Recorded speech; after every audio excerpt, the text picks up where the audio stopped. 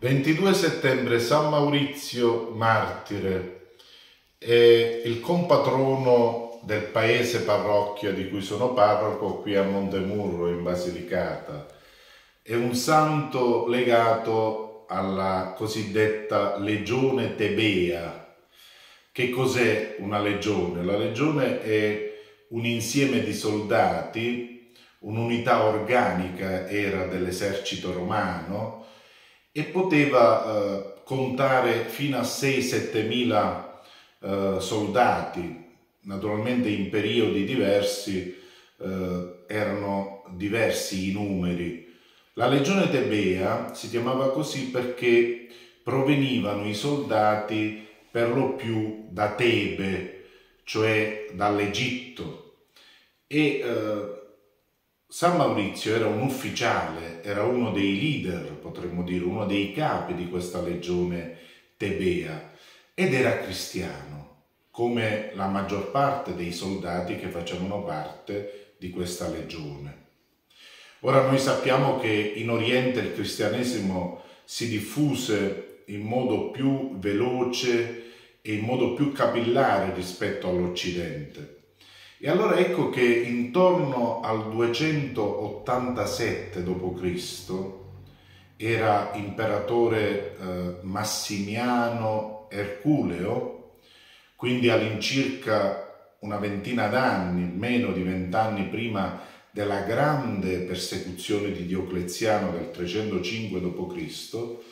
eh, avvenne l'eccidio, la strage della legione tebea o di molti soldati della legione tebea ed avvenne in questo modo. L'imperatore eh, voleva mettere ordine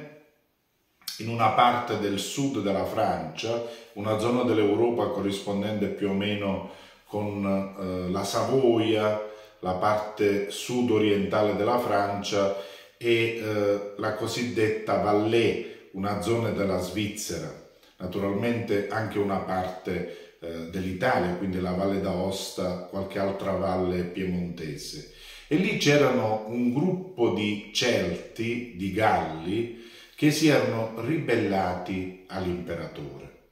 E allora ecco che la legione eh, tebea fu mandata lì per domare la sedizione, per eh, sottomettere questi barbari, per riportare l'ordine in quella regione. Però ecco ci fu un inconveniente, perché molti di questi galli che si erano ribellati erano cristiani e l'imperatore voleva farli uccidere solo per il fatto che erano cristiani. Naturalmente, ecco, la legione tebea che eh, proveniva dall'Oriente, i soldati provenivano dall'Oriente, erano anch'essi eh, in gran parte cristiani e quindi si eh, rifiutarono di uccidere eh, dei corre legionari, degli appartenenti alla stessa fede loro, anche perché dicevano non hanno fatto niente di male. E tra questi, naturalmente furono tantissimi eh, i soldati martirizzati, tra questi eh, emergeva Maurizio, non solo Maurizio che, eh, San Maurizio che poi è diventato celebre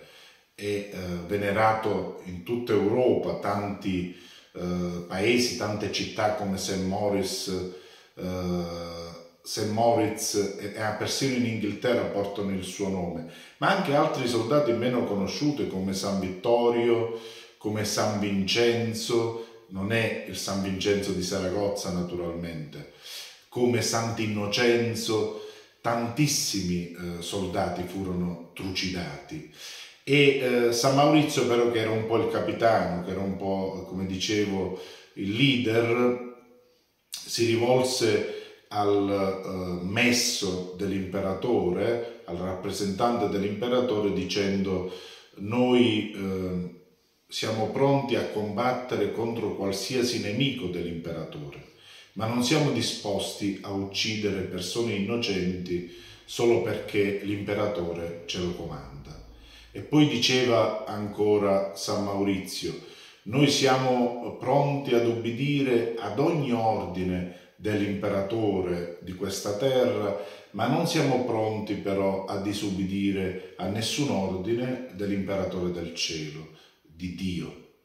E poi eh, se ne uscì con una lode bellissima alla Santissima Trinità, come eh, ci eh, raccontano le cronache, eh, in modo particolare eh, Diosculo di Lione, eh, che scrive qualche secolo più tardi questa storia. Ecco, San Maurizio loda il Padre perché ha creato ogni cosa, loda il Figlio perché ha redento il mondo, loda lo Spirito perché santifica ogni creatura che apre il suo cuore a Lui. Naturalmente dicevo della fortuna che il culto, che eh, la devozione a San Maurizio ha ricevuto in tutto il mondo e eh, tra queste eh, persone, tra i popoli che hanno eh, dato un particolare tributo di culto a San Maurizio, ci sono sicuramente i Savoia, eh, i Savoia che sono stati i re d'Italia fino a che non è stata proclamata la Repubblica e che in onore di San Maurizio proprio fondarono un ordine cavalleresco dedicato a lui e che nonostante in Italia sia poi subentrata la Repubblica, come, come sappiamo, eh, questo ordine cavalleresco di San Maurizio, questa croce all'onore eh, che viene conferita in alcune eh, particolari eh, situazioni, in alcuni, per alcuni particolari meriti, è rimasta ancora anche nella Repubblica Italiana. Ma ecco, è compatrono di Montemurro e in passato, eh, Montemurro è la parrocchia e il paese di cui sono parroco, in passato veniva pregato, a parte che era considerato il santo dei galantuomini, quindi un po' dei nobili, dei ricchi del paese, ma veniva eh, invocato da tutto il popolo eh, soprattutto nei momenti di siccità o nei momenti in cui c'erano eh, problemi meteorologici, soprattutto quando mancava la pioggia, ma anche quando era eccessivamente abbondante e provocava eventi franosi. San Maurizio prega per Montemurro, prega per l'Italia, prega per l'Europa e per la Chiesa.